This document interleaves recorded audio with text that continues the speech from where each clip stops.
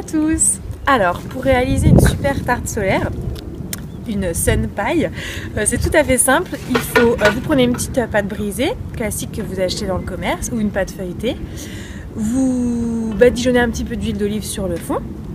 Vous découpez des tomates en rondelles. Euh, alors aujourd'hui on a fait une tarte comté tomate.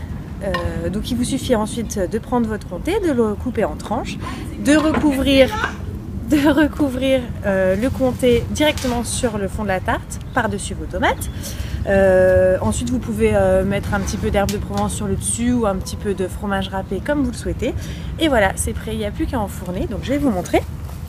Suivez-moi. Vous mettez votre tarte, votre plat ici sur le socle. Ensuite, donc là je pense qu'on va en avoir à peu près pour trois quarts d'heure, le temps que ça cuise. Donc ensuite, vous orientez votre four pour que ça soit bien face au soleil. Et voilà, il n'y a plus qu'à attendre que ça cuise. À tout à l'heure. Alors, on va aller voir où ça en est. Bah, ma foi, ça a l'air de bien prendre.